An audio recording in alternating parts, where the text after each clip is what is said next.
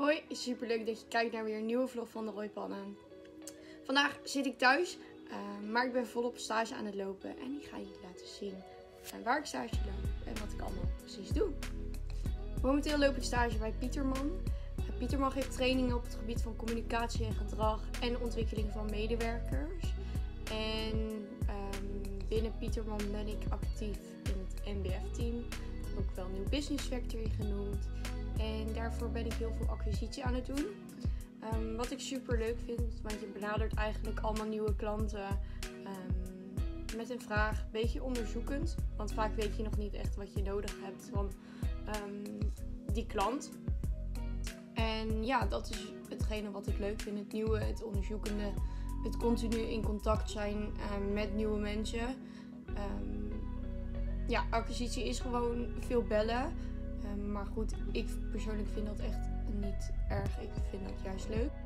Voor nu denk ik dat het het beste is dat ik mijn stageopdrachten laat zien. Um, zodat je een beetje, weet wat je kunt verwachten. Een van de dingen die ik ook uh, super leuk vind van Pieterman en wat mij enorm aantrekt, is dat Pieterman continu bezig is met ontwikkelen. Um, zowel binnen het bedrijf zijn we continu aan het ontwikkelen. De medewerkers die aan het trainen zijn vanuit de klanten, zeg maar, die zijn continu aan het ontwikkelen. En wij als medewerkers van Pieterman zelf zijn ook continu aan het ontwikkelen. Um, en dat is iets wat mij super erg aanspreekt, omdat ik ontwikkeling gewoon heel interessant vind. Uh, persoonlijke ontwikkeling, persoonlijke groei. En ja, daarom ben ik er ook van overtuigd dat Pieterman eigenlijk wel bij mij past. En dat ik gewoon voor nu heel erg op mijn plek zit. En ik heb het heel erg naar mijn zin. En dat is natuurlijk ook één ding wat super belangrijk is aan je stage. Is dat je het ook heel erg naar je zin hebt. En dat je het uh, het beste voor jezelf eruit haalt eigenlijk. Ik denk wel dat ik genoeg heb gepraat voor uh, nu over Pieterman. Ik wil natuurlijk uh, nog heel veel vertellen.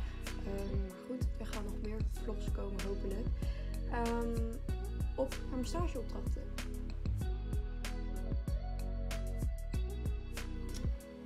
Al mijn stageopdrachten staan in de praktijkwijzer.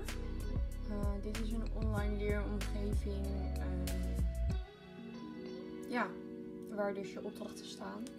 En dit jaar moet ik drie opdrachten van dit doen. Um, ik denk, nou dat valt best mee. Dat is niet, want je hebt dus al deze kopjes. En onder die kopjes heb je ook nog vet veel punten. Het gaat over de concurrenten. Goed, en er komt dan uiteindelijk een mogelijk resultaat uit.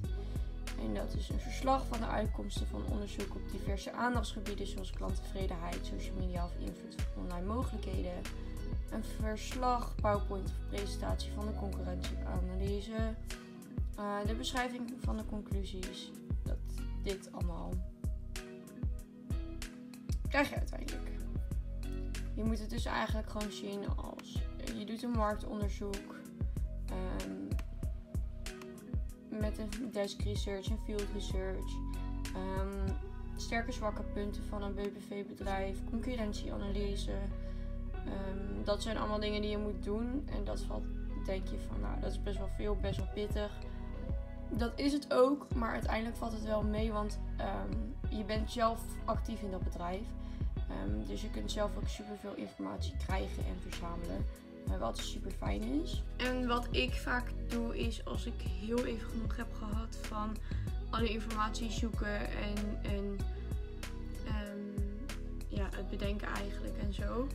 Dat je gewoon geen zin meer hebt en dat je motivatie op is. Uh, dan ga ik iets anders doen, maar wel voor school. Um, namelijk de opmaak van mijn um, verslagen. Ik vind het altijd heel leuk om mijn verslag ook daadwerkelijk mooi in te leveren. Dat het dus echt ook voor docenten interessant is om te lezen en leuk is om te lezen. En ook voor mezelf natuurlijk dat ik dat verslag inlever en denk, ja oké, het is iets moois geworden. Ik werk dus eigenlijk altijd vanuit twee um, documenten. Het ene document is dus gewoon klakkeloze informatie, um, antwoord op de vraag, totaal nog geen samenhang of totaal nog geen uh, verhaal daaraan.